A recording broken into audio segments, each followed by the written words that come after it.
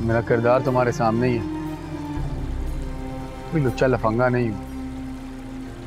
हमारी आँखों के सामने ही बड़ा हुआ कोई नशा तो दूर की बात है, आज तक निस्वार भी नहीं रखी। सिगरेट को हाथ तक नहीं लगाया। और तुमने मेरे बारे में आज तक कोई गलत बात नहीं सुनी होगी। तुम दोनों बहनें अपने माजी के मसलों में, हमारा मुस्तकबिल तो ख़राब मत करो। मैं तुम्हें कैसे यकीन दिलाऊं खाला? मीना के बगैर मैं अधूरा हूँ। मेरे पे ये एहसान कर दो खाला।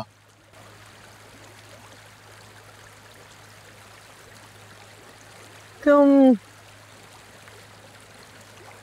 मुझसे मेरी बेटी का हाथ मांग रहे हो। हाँ ऐसा ही समझो। तुमको तुम्हारी माँ ने भेजा है? नहीं।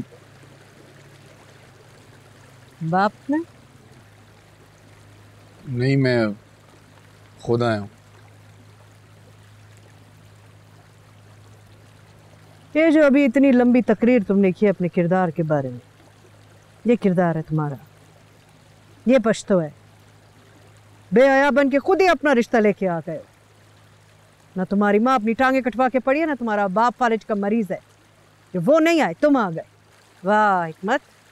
वाह क्या बेइज्जती की है तुमने मेरी? नहीं नहीं नहीं नहीं खाला ऐसी बात नहीं है।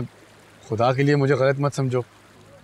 मैं मैं तो बस यही कहने आया था कि जब अम्मा रिश्ता देने आए तो खुदा के लिए इनकार मत करना। मैं उसे बहुत चाहता हूँ। कसम से बहुत खुश रखूँगा। सिर्फ़ तुम्हारी अम्मा नहीं आएगी। हाजी मरजान भी आएगा हाँ हाँ ज़रूर आएगा। तुम जिस जिसको कहोगी आएगा। सारा गाँव कहोगी तो सारा गाँव ले आऊँगा। पूरा गाँव नहीं। सिर्फ़ तुम्हारी माँ और तुम्हारा बाप।